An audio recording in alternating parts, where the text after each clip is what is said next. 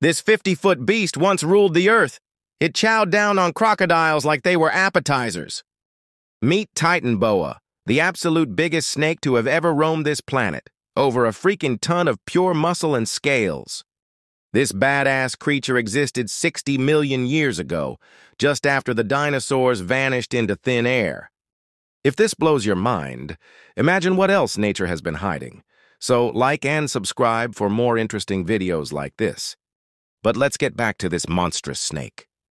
Titanoboa was so insanely powerful, it didn't even need venom.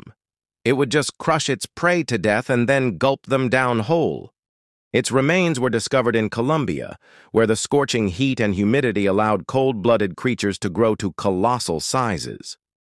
Imagine this.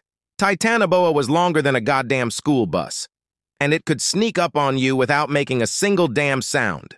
Still think anacondas are terrifying?